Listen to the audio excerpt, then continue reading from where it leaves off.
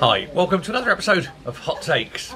And the Oracle was right once again. I predicted that Shona Robison would cut money from the NHS rather than from independence, and that's exactly what she's done.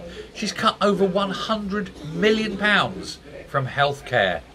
That's exactly, I think, what people want, isn't it? That's what they expect. Oh, yes, we don't want to be healthy. We want to make sure independence goes through, but hey, let everybody die on the way to doing it.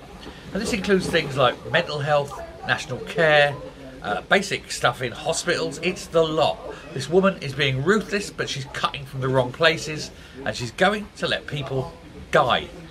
This budget is a budget of death, and the SNP will have blood on their hands. And make no mistake, it's only the beginning.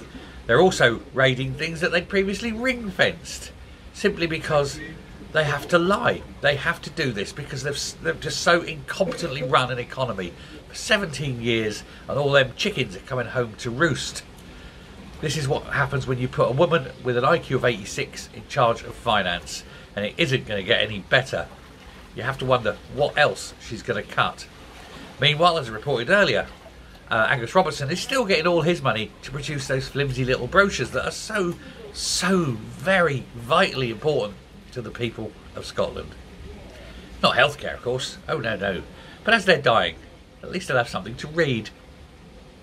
Thanks very much. Bye.